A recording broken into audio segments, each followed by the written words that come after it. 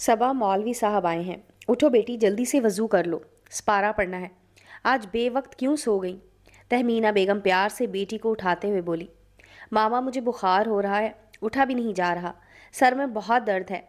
आज मेरी छुट्टी करवा दें। प्लीज़, सबा ने चादर से मुँह निकाले बगैर कहा अच्छा चलो, आज तो छुट्टी करवा दो, मगर रोज़ रोज़ नहीं होगा। बेटी कुरान पाक पढ़ने में सुस्ती नहीं करते, मेरी जान।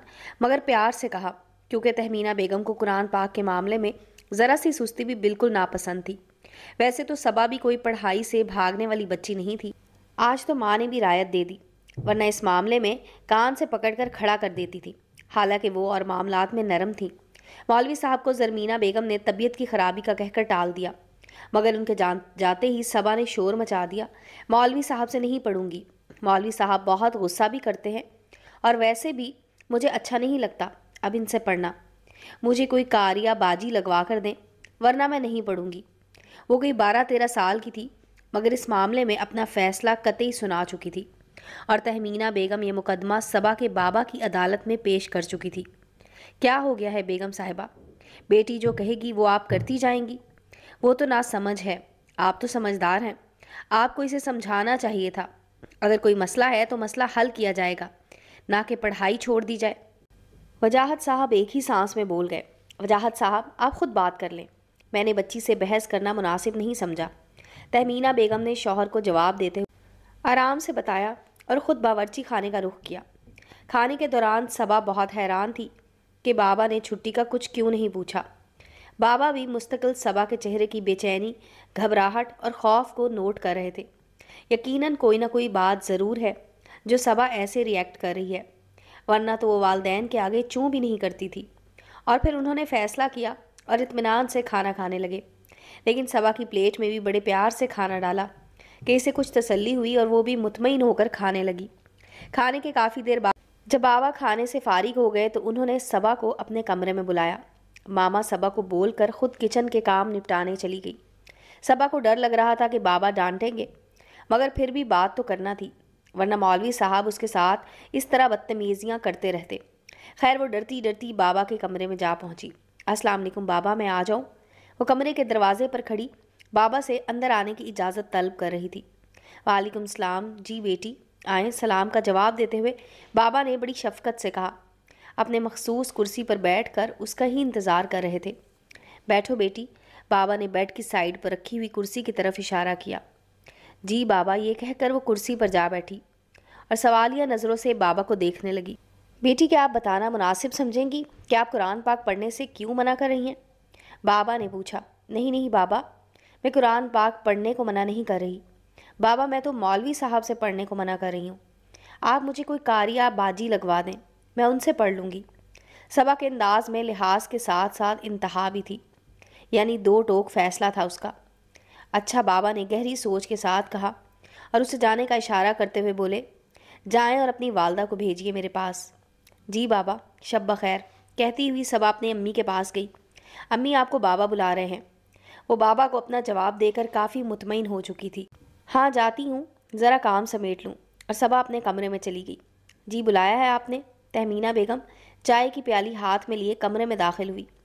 तहमीना बेगम, आप अपने तौर पर बेटी से मालूम करने की कोशिश करें। मुझे यकीन है, कोई ना कोई बात ज़रूर है जो हमारी बेटी इतनी परेशान लग रही है। बेगम, आप पूछिए, वो आपको ज़रूर बता देगी। वो मुझे झिझक की वजह से नहीं बता रही।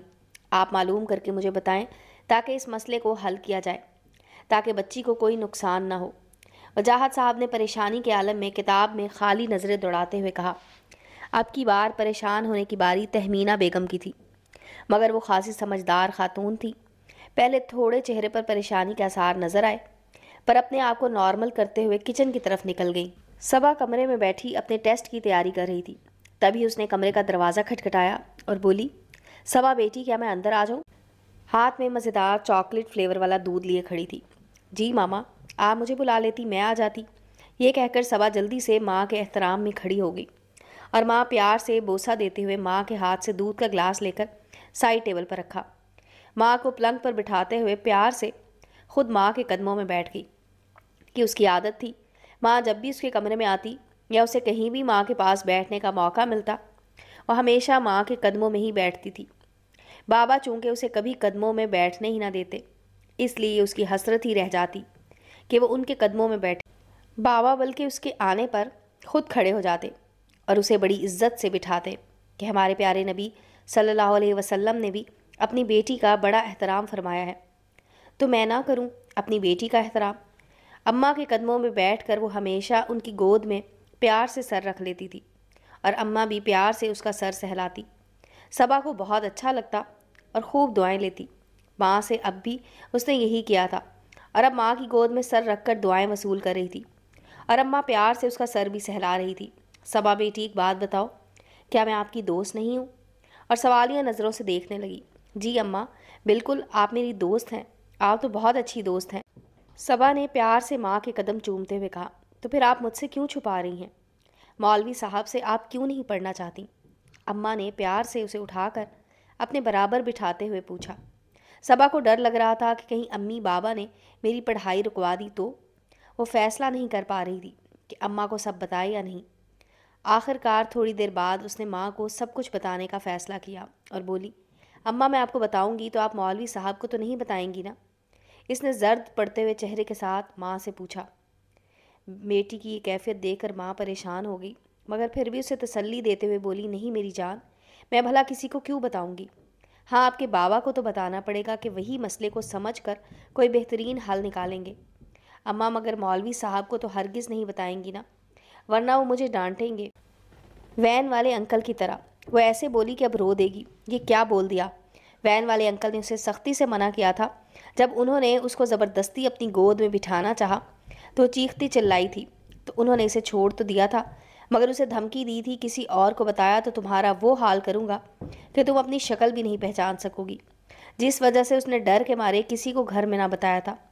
वो बात आज बेख्तियार अम्मा के सामने निकल गई थी। मुझे बताओ बेटी, डरने की कोई ज़रूरत नहीं है।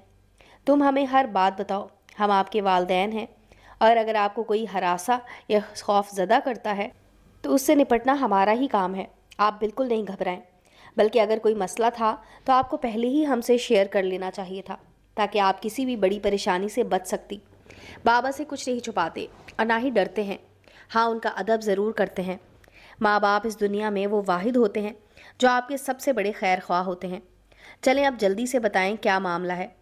अम्मा ने उसे प्यार से पचकार कर अपने साथ लगाते हुए कहा, और फिर सबा ने ड्राइवर अंकल की वो हरकतें बताईं, जो वो ज़बरदस्ती उसे गोद में बिठाने की कोशिश करते थे। और जब वो गोद में ना बैठती तो वो उसे इस बात पर डांटते और धमकाते थे। मौलवी साहब की भी सारी बातें बता दी कि वो भी मुझे गोद में बैठने के लिए कहते हैं, और जब मैं ना बैठूं तो वो मुझे बुरी तरह डांटते हैं और इसलिए मैं अब मौलवी साहब से कुरान पाक नहीं पढ़ना चाहती। ये सुनते ही तहमीना बेगम का खून खोलना शुरू हो गया और ये गम उनके अंदर तक उतरता जा रहा था कि उनकी बेटी ने एक अरसे तक ये खौफ अकेले झेला था। वो तो खुदा का शुक्र था कि कोई बड़ा नुकसान नहीं उठाया था, वरना इस खौफ की वजह से कि अंकल या मौलवी साहब उसको डांटें या मारेंगे, इस चक्कर में वो वाकई नुकसान उठा सकती थी। वो तो अल्लाह ताला ने करम किए रखा और वो अभी तक उनकी हवस का निशाना बनने से बची रही थी। वरना तो जाने कब का क्या हो जाता और वो लोग सर पकड़कर रो रहे होते। तहमीना बेगम गमों, गुस्से और शुक्रगुजारी की मिली जुली कैफियत में थी। ये सवाल उनके दिमाग पर हथौड़े बरसा रहा था कि अगर कुछ हो जाता तो साथ ही ये कैफियत कि अल्लाह ताला का शुक्र उसने बड़े नुकसान से बचा लिया। मज़ीद ये कैफियत कि वो तो समझी थी कि इनकी बेटी उनसे कुछ नहीं छुपाती।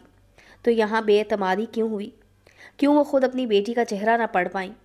इसका मतलब उनसे कहीं ना कहीं बेटी की तरफ़ से लापरवाही हुई थी। इन्हें अपनी बेटी की रोज़ाना की मालूम लेनी चाहिए थी। इससे पूछना चाहिए था, बेटी, आज आपका दिन कैसा गुजरा? इन्हें अपनी बेटी को दुनिया का थोड़ा बहुत फ़हम खुद भी देना चाहिए था कि, बेटी, अगर कोई इस तरह आपके साथ कोई गलत हरकत करने की कोशिश करे तो आपको क्या करना चाहिए? सबा तो अपनी माँ को सब बताकर मुतमिन हो गई थी। अब कोई उसे कुछ नहीं कह सकेगा। ना तो ड्राइवर अंकल और ना ही मौलवी साहब। मगर तहमीना बेगम सख्ते की कैफियत में थी। उनके तो वहमो गुमान में भी नहीं था कि दिमाग पर हथौड़े बरस रहे थे। उनका बीपी हाई हो रहा था। बेगम ये सुनकर उनकी नाक के नीचे, उनके घर में ये सब कुछ हो रहा था और उन्हें खबर भी ना थी। उनका दिल चाहा कि वो इस ड्राइवर और मौलवी साहब का मुँह नोच ले। वो तो शुक्र है कि वो बच्ची को घर में बिल्कुल अकेला छोड़ कर नहीं गई थी। वरना ये हवस का मारा मौलवी उनकी बच्ची की इज़्ज़त ही ख़राब कर चुका होता। और वो ड्राइवर उसकी तो स्कूल में कंप्लेन करूँगी। और कितनी बच्चियाँ होंगी जिनको ये डराता होगा। वो तो बेटी से बर वक्त उन्हें पता चल गया, वरना वो तो बच्ची को मौका मिलने पर कुछ भी कर सकता था। उसके साथ इन दोनों से ज़्यादा उन्हें अपने आप पर गुस्सा आ रहा था कि वो बच्ची के मामले में इतनी लापरवाह कैसे हो गई। उन्हें ख्याल क्यों ना आया कि जिनके हवाले वो अपनी बच्ची को कर रही है वो भी मर्द ही हैं। फिर भी छोटी हो या बड़ी, मगर क्या वो दुनिया की ऊंच नीच से वाकिफ़ नहीं थी? इनकी तवज्जो क्यों नहीं गई?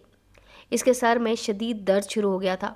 वो उठी और अपनी बेटी को तसल्ली देती हुई अपने कमरे की तरफ़ चल दी। अपने कमरे में पहुँच कर सबसे पहले उन्होंने ब्लड प्रेशर की गोली खाई और थोड़ी देर बाद जब ब्लड प्रेशर कुछ कंट्रोल हुआ तो उन्होंने सारा मामला वजाहत साहब की गोश गुजार कर दिया, जिसे सुनकर उनका भी खून खोल उठा। मगर बेटी की इज़्ज़त का मामला था, इसलिए संभल कर चलना था।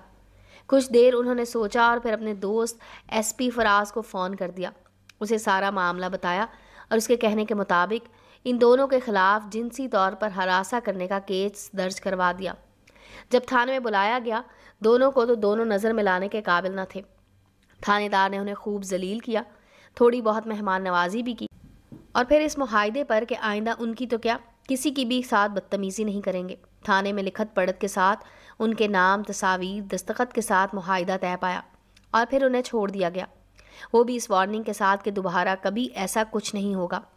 सबा के बाबा ने बात वाज कर दी कि हम डरते नहीं हैं और कमज़ोर भी नहीं हैं। हम इस इसलाह का एक मौका ज़रूर देना चाहते हैं, ताकि आप आइंदा ऐसी कोई हरकत ना करें कि जिसकी वजह से माशरे में बिगाड़ पैदा हो, वरना हम चाहते तो वाकई सज़ा भी दिलवा सकते थे। मगर हम चाहते हैं कि आप अपने करतूत संवारें। ताकि आपके घर की बच्चियाँ भी महफूज रहें।